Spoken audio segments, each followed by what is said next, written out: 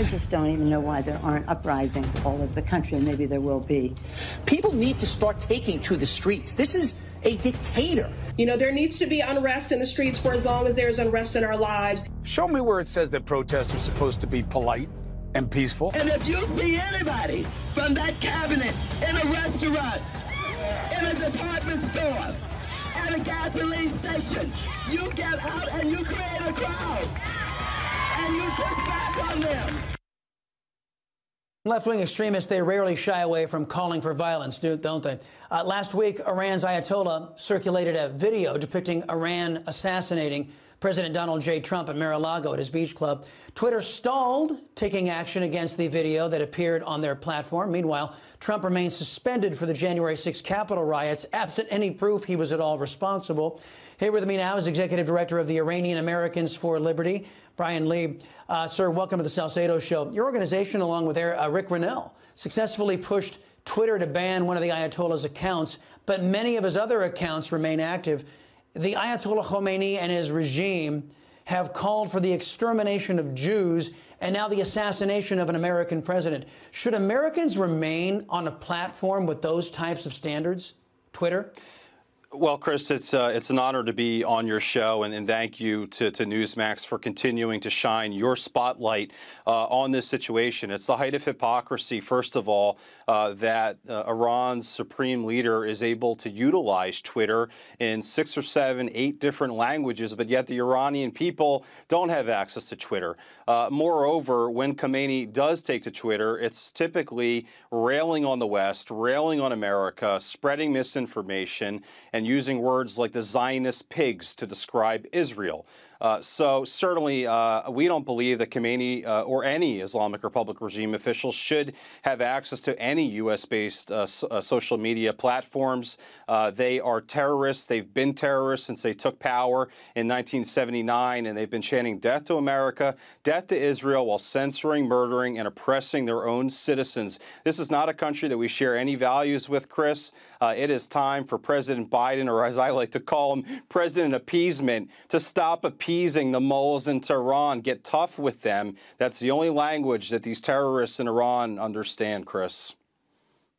Well, the only uh, language that Mr. Biden understands is the appeasement language you're speaking of, sir. Jen Psaki, his spokesperson, supported Iran's ability to develop nuclear weapons. On the record last week, she also blamed President Trump for Iran's increasing aggression. Watch this. Most importantly, none of the things we're looking at now, uh, Iran's increased capability and capacity, uh, their aggressive actions that they have taken through proxy wars around the world would be happening if the former president had not recklessly pulled out of the nuclear deal with no thought as to what, what might come next. Now, we all know that Iran was legally able to enrich after 10 years under the Obama Ayatollah nuke deal. We also know that Iran was able to develop ICBM technology in that decade. How shameful is it that the regime in the United States is so supportive of the regime in Iran?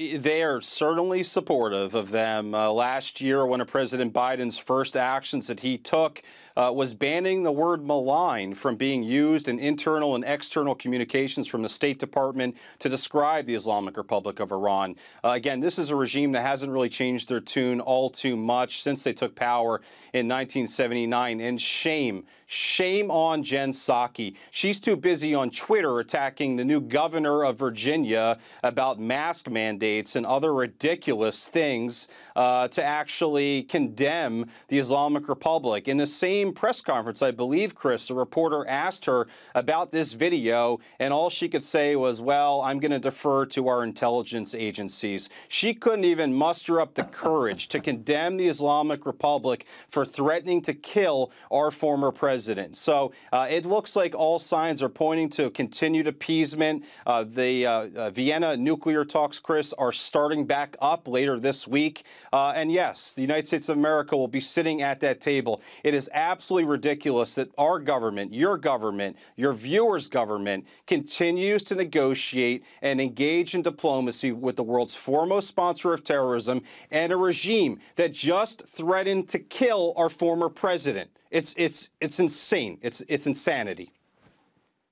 It is insanity. But as you know, the number one state sponsor of terror, the Socialist Democrat Party in this country, embraces and loves them. The real enemies, according to Socialist Democrats, are conservatives and the American people. And that's that's sad to say. Bryan Leib, thank you, man. Enjoyed our conversation. Chris, Come back soon. Just make, Up next, Chris, if I could just make DirecTV one more point here.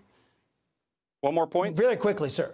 Very quickly. So while there were certainly a, a, lot of Republicans that spoke out against this, and of course Rick Grenell also spoke out about this, not a single Democrat spoke out against this video from the Islamic Republic threatening to kill our former president. That is where their priorities are. Thanks for having me on, Chris.